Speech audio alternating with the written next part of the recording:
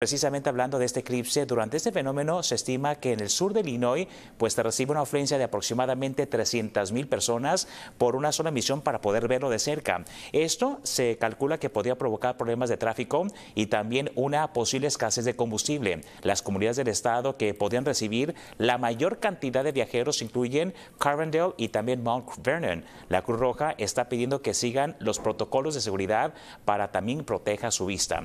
Y bueno, si usted prefiere verlo desde su casa, no se pierda nuestra cobertura especial del eclipse solar total el lunes a partir de las 8 de la mañana en telemundochicago.com.